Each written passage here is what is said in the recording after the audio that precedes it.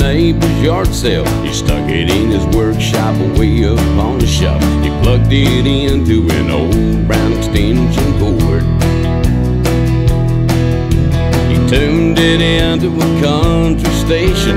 I'd sit and listen to the songs they were playing while I watched my daddy nailing them two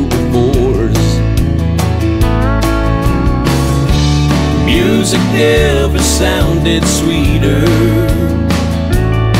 than it did coming out of that little blown out speaker. No, I don't mind that hi-fi sound on a high-tech stereo. But between the two, I'd have to choose my daddy's radio.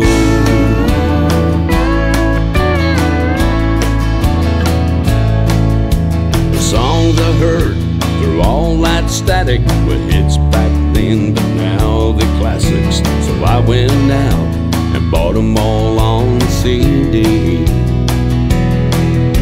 You wouldn't believe how much I paid for that six-disc changer in my old Chevrolet, but it don't sound near as good to me.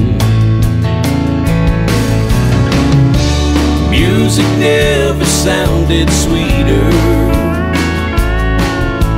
than coming out of that little blown out speaker. I don't mind that hi-fi sound on a high-tech stereo. But between the two, I'd have to choose my daddy's radio.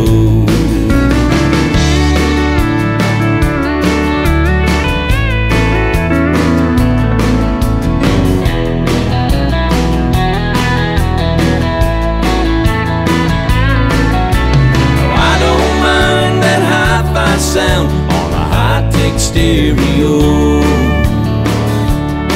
But, between the two, I'd have to choose my daddy's radio.